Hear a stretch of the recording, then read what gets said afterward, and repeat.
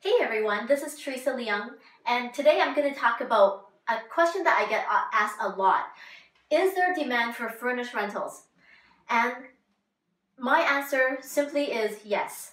Um, about 80% of my properties that I own are all fully furnished, so I definitely, I, I definitely do believe that there is the demand for furnished rentals.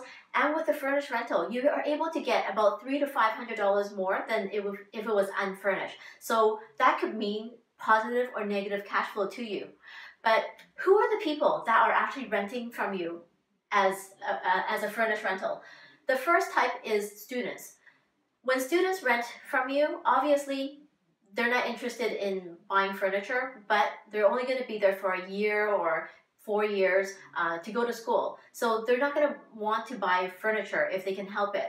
And as a furnished rental for students, you're going to be able to rent per room. So anywhere from $700 to $900 a room. Imagine if you had a four bedroom house.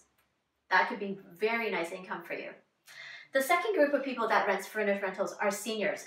Seniors love furnished rentals simply because they've actually um, they they have downsized already, so they sold their house, and you know it's time for them to travel. So they're only here for part of the year, and so they want a place. But the last thing they want to think about is buying furnish furniture. So paying a premium, say three to five hundred dollars, that's okay for them because they got tons of money because they've already sold their place.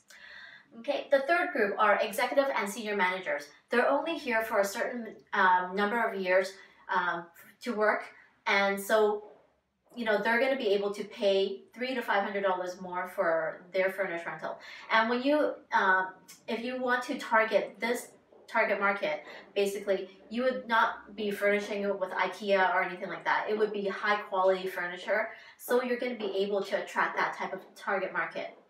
And the last group that loves furnished rentals is what a lot of people don't think about. But you know what? In Canada, in North America, 50% of the population are divorced or separated. So these newly separated people, the last thing they want to think about is buying furniture.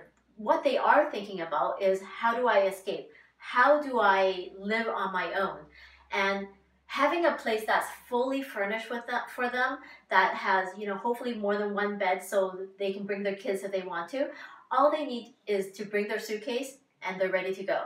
So they would definitely pay that premium to to uh, rent your place that's a little bit more expensive than the unfurnished place. So there you go. Is there demand for furnished rentals? Absolutely. Thanks for watching this video.